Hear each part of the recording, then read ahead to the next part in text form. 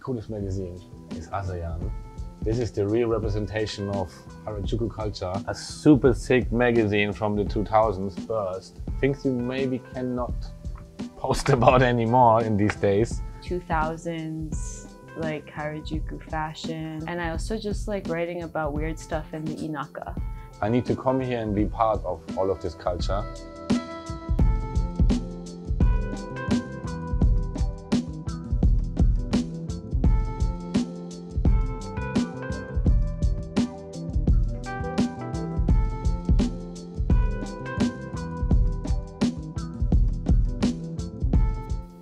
Friends, my name is Bianco. I'm the editor-in-chief of Sabukaru and the founder and creative director of Bianco Bianco. Hiroshku. Okay, so today we at the Sabukaru office. Um, basically, we are a cultural magazine that is based in Tokyo, that looks at Japanese culture and subculture, but also on a wider angle on Asian or worldwide global culture, fashion, movies, anime, manga, everything that you can put under one box and call it Sabukaru. That's us. So right now we have our Instagram channel and we have our website, website for really long articles. Instagram also for quite a lot of texts. As a total secret that I'm gonna talk about for the first time ever, we're also working on a print magazine right now. We also do video. I would say we're not limited by anything. Sabukaru gonna do everything and anything, left, right, up, down, diversity in all its forms and media. Yeah, we're gonna be everywhere. We started Sabukaru. I used to love to come to Japan. And Japan on the first level, let's say Mario first level, is amazing. Shibuya Crossing, Ichiran Ramen, all the stores in Harajuku. But it's just the first level. And I realized that many people that love Japan or subculture from Japan, even Asian culture in general, they just stay on level one. It's nice there, it's cool, but I realized there's so much more. And if you're in a country like Japan, everything is super wide, super deep. And I wanted to dig really deep into that. Um, and that's why I formed my team. And that's what we're doing every day. Yeah, we're trying to really translate in between cultures as good as we can. It's a good time to talk about room floor number one. This is where we usually hang out. We kind of thought about if we want to clean everything up but honestly, I want it to be as real as possible. We have fashion productions every day. There's a lot of things happening. There's some shoes we're going to release. There's unreleased Adidas stuff we're not allowed to show. So the chaos here is 100% real. But the main point of this floor is actually this bookshelf, which is slowly becoming our main archive of everything we do. It's a legendary bookshelf in the making. I need 10 more years to make it really big. Obviously, through the years and through our research, we found out a lot of cool stuff. For example, every foreigner talks about Popeye magazine, but the coolest magazine is Asayan. This is the real representation of Harajuku culture. Has all the designers in there that we know, and way more important, has all the designers in there from Harajuku most people do not know about. All the shops, everybody who did amazing, great stuff, but might not have made it in the spotlight, like the five, six big ones. And that's what it's really Sabukaru about, like everybody, and not just about the big names. Sabukaru is not just about big prominent figureheads. We really want to talk about everybody, all people that did special or still doing special stuff. And this kind of is the past section of Sabukaru, because we also talk about the future, but without this future with all, all of these creators, all of these designers, game designers, sound designers, graphic designers, nothing that is happening now in Tokyo or the rest of the world would happening. So we pay always respect with Sabukaru to the originators. I kind of like this one. I think Universal Studio released a 3D right and therefore they did like a connection between Godzilla and Evangelion. It's super rare super random, very Sabukaru. I don't even know if you can show this. We have a super sick magazine from the 2000s first. It's full of crazy stuff, things you maybe cannot post about anymore in these days. Because we like subculture, we also like everything about culture, like even the deep, sometimes dark stuff. So this is full of good things. Or like here, Fruits Magazine, Metal Gear Solid, Stone Island, Massimo Osti, everything that is Sabukaru you can actually find here. Here, the Evangelion, Godzilla, popcorn bag, Verdy Beer, Shlomo. So this is like a very well representation of what we are, because we pretty random, straightforward laser. Smart, stupid, random. That's us, yeah. So basically, when I was young, I wouldn't say I was an otaku or something, but I liked manga, I liked anime. Um, I like growing up on this particular culture, I like video games, and I kind of knew that in Japan it's the home of so many things I like, even streetwear, even fashion. Um, I worked kind of very hard, but got money super late to get my first ticket to Tokyo. With 28, I was to Tokyo, and on my first night, I was like, I need to move here. And usually I have many friends or many people that like a country and then they go there for holiday. And I was like, I don't want to become a person who has a space that inspires him or her and then you go there twice a year. I was like, no, no, no, no. I need to come here and be part of all of this culture. Um, so I came here, like I, I, worked three years in and out on many projects, marketing, Vice magazine, market research, fashion production. And then after three years, I managed to start my own small company back then in a three meter three square meter room in Shimbashi. And then I met all the amazing people. Actually, that's very important. I always talk, we talk about myself, but that's actually unfair.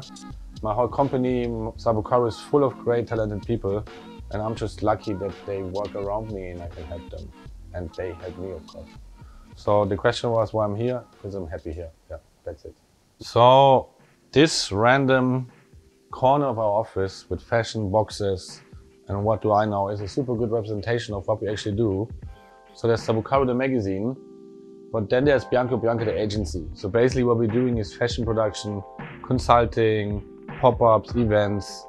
And I'm just gonna give you an example on all of these things. Here's a young designer from Central Saint Martin, Luca Hammers. We help him with showrooms in Paris, help him to getting into stores in Tokyo. There's a brand, CCP, we work a lot with them. They mainly are friends, but we do cool stuff together, like I think this is a sample of a collabo jacket that's gonna come out.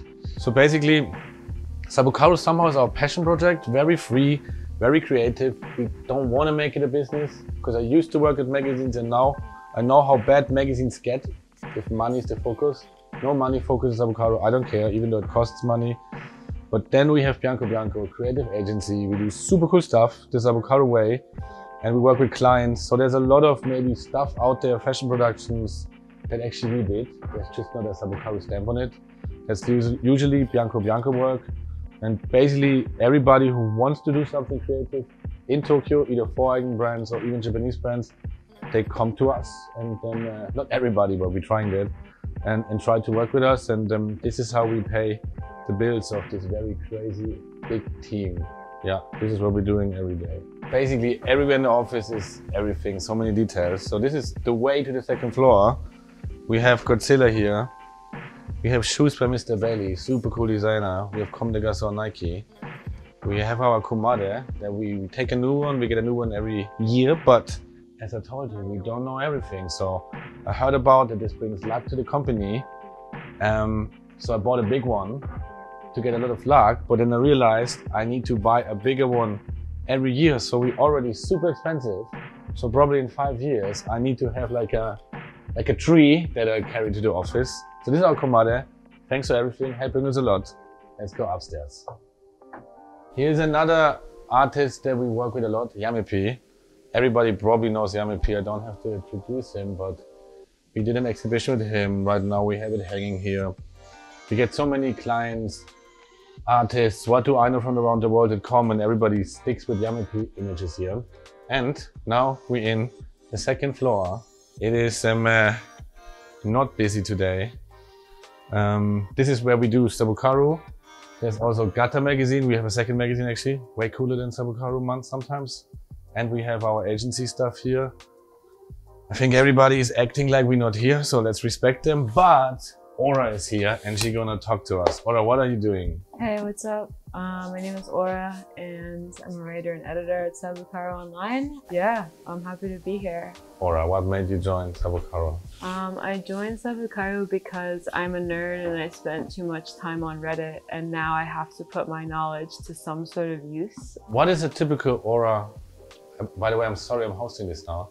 Um, what is a typical um, Aura Sabukaru article? What is what are the topics you, you write for us about? Um, so right now I'm like really into mm, like Geiger style, like 2000s, like Harajuku fashion. Um, and I also just like writing about weird stuff in the Inaka. That's how I find my best stuff is like going to like the suburbs of Tokyo, like Adachiku or like I don't know, I was in like Edogawa the other weekend and like you just always find the cutest stuff and the most unexpected stuff. It's not all in Tokyo, guys. Take a train to Chiba or Saitama and maybe you'll find something cool. But yeah. Uh, what's a typical article? I think I usually do the interviews. Um, and that's my favorite part because I always want to ask people weird questions in real life, but I feel like it's too personal. So an interview is like the perfect time to ask everything I wanted to ask. And I usually want to know what my favorite people like to do in their free time, like how they take their coffee or like my favorite people's favorite people. Because eventually you go down a rabbit hole of like history of your favorite your favorite person's favorite people and you find like even better stuff. So it's like a continuous circle of recommendations from people that I think are cool. Yeah. We have a lot of great people working at Sabu and some people make the mistake that they always think Sabukaru is Mr. Bianco because they know me from six, seven years ago, but Sabukaru is all the writers here. I don't even have the time anymore to write stuff, so it's literally all the other people that are here and not here today. So um, uh, yeah, it's a big team of really cool kids and people, humans, old and young. And that's us, yes. And I guess was it for second floor. Let's go to the third floor, um, where I sit, where it's very chaotic. Very nice place. Cool. So we go now to the third floor. I'm sorry in advance, it's very chaotic. We right now reorganizing our storage. So this is the fullest, most busy floor. It's just actually my room, but as you can see, there's boxes, boxes, boxes, boxes, boxes full of books, fashion, archive fashion, Ura Harajuku, poster, our merchandise, more Johnny Terror stuff. We have a photo studio here. We scan our stuff here. It's very chaotic. It's not nice. I said, I was thinking to clean it up, but clean up a little bit but um, I left it pretty real. So welcome to my spot. This is where I sit. There's another Johnny Terror. Look, here are our artists. I don't know if you can see it. Yamepi. Yamepi. Exit number five. This is me, Johnny Taro. I have all my friends next to me. I'm never alone. Welcome to the desk.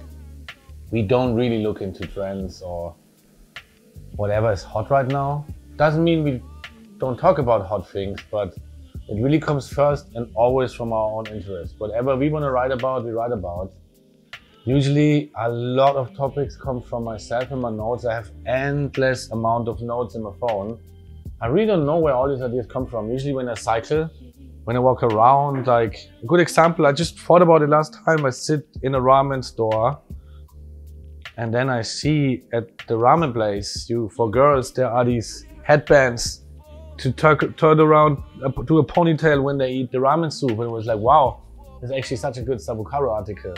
I don't know if we're ever gonna do it, but you know, like random moments, ordinary life sometimes creates like a spark. And basically we have thousands of ideas because we have the past, we have the present, and we have the future. And as long the planet doesn't explode, even though we work hard on it, we might um, have some time to have endless topics for Sabukaru. You want to see something that means a lot to me. There's a lot. Obviously, Verdy gave us this amazing beer. We like beer. Nunchucks, we did a really cool video with Nunchuck Princess. There's Beat Takeshi, the greatest actor of the planet. So everything here is full of stuff. I'm just gonna give you a random... Oh, nice. Game Boy Color with Game Boy Camera. Pokemon Red Original. Pokemon Yellow Original. Pokemon Green Original. Here's a lot of Urahara Harajuku stuff. Oh, people might know this. Busy Works. Very old Bape stuff. Oh. There's a whole folder with like vintage stickers, Bape, Hysteric, Milk Boy, So actually there's a guy called Tetsu, one of our readers. He out of nowhere contacted me and now out of nowhere he brings me a lot of stuff of his whole collection. So he is super old undercover pins. So this is a lot and every box is full of this. So if you ever have time, come over. I show you a lot of stuff. I love this book, like Tokyo Style. This from this amazing editor who shot like all the different rooms in Tokyo from different people.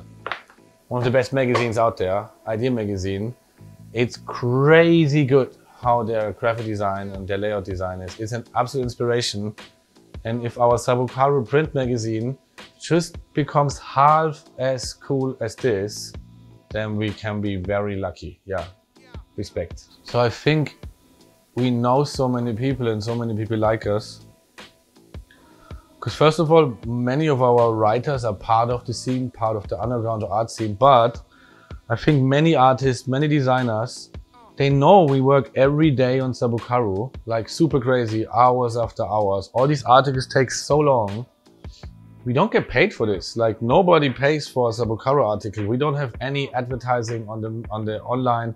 We really don't really do jobs with Sabukaru. Obviously, sometimes we shoot something, but everybody in the scene knows we're just doing this because we super crazy, because we love passion, because we love culture, we love subculture, we love all of these things, and we investing hours after hours to give other creatives a platform, which I really love to do.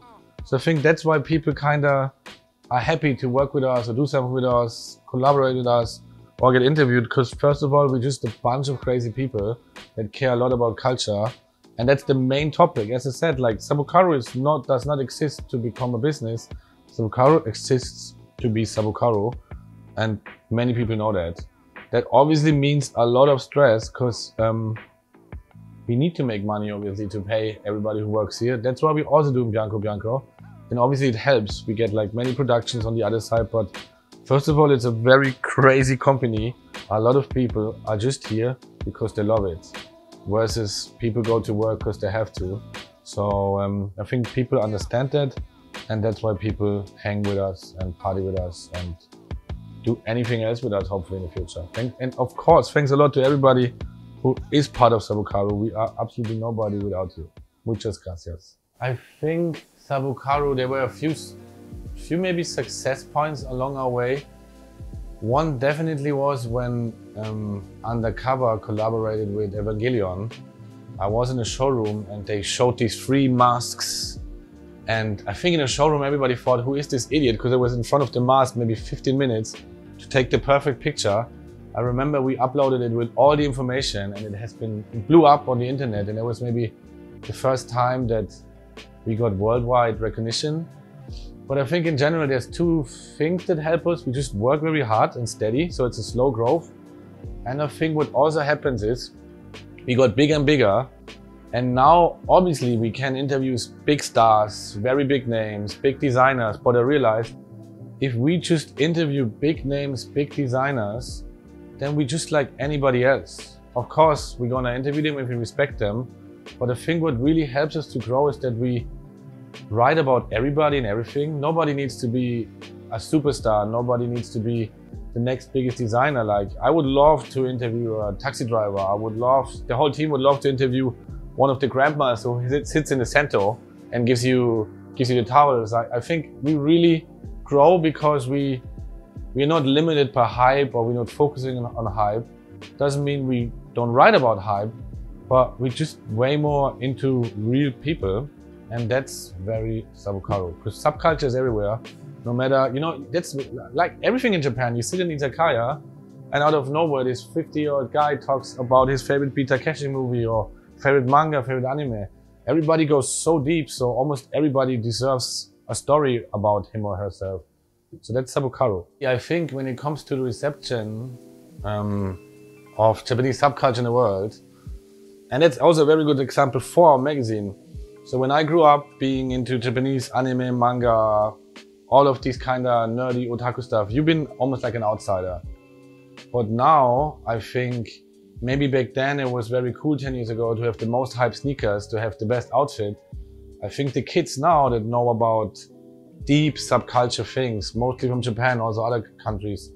People who are really into these kind of things, have a lot of hobbies, go deep into topics. These are the new cool kids. If you know about subculture and if you're part of subculture, you do something important or you follow something important. And I think this really changed the last five, ten years. And I do believe that Sabukaru always almost has become like, you know how maybe the big fashion magazines are for all the hype beasts or for all the high fashion lovers. I think Sabukaru itself is a whole new genre of people that like many, many different things that used to be maybe outsider stuff, partly, and now everything together is one mix of like, oh, I can be into manga.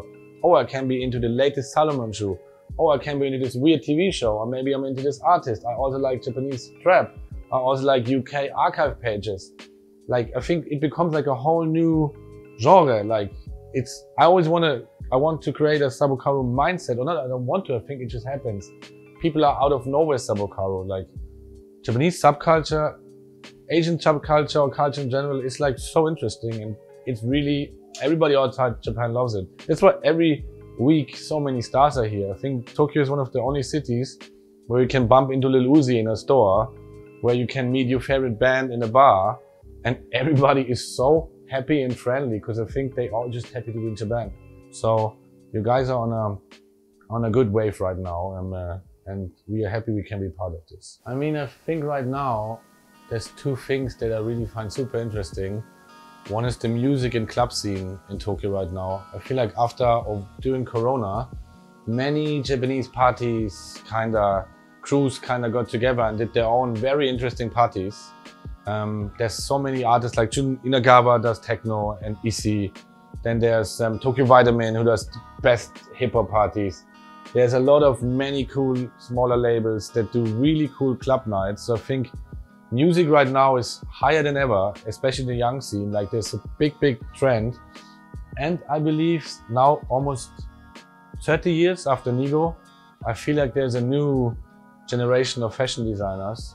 There's Verdy like who, who flows over everybody and same back then as Hiroshi, um, he keeps the scene together, he supports everybody, um, he helps people. And then there's even a younger generation of young designers like Janye, Rior, my back is from it. Um, uh, there's so, so many brands, Fakest Flowers, um, all these kind of young brands right now, uh, car service, all these brands kind of making an impact. And I think that's super interesting right now.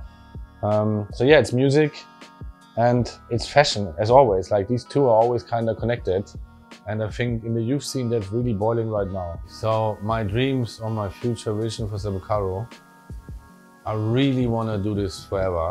I've been having like a kind of good job back then in Europe, way more money, um, but I've never been so happy. So now I'm happy every day, super excited. In my dream world, we're doing Sabukaru the next 50, 60, 70 years. I want to do more videos. I want to do more. I want to do print magazine as mentioned. I want to do, I want to just do everything of this. And I want to be able to continue working with such great people that are in my team so my future vision is just Sabukaru is forever and hopefully stays forever. Yeah, that's it.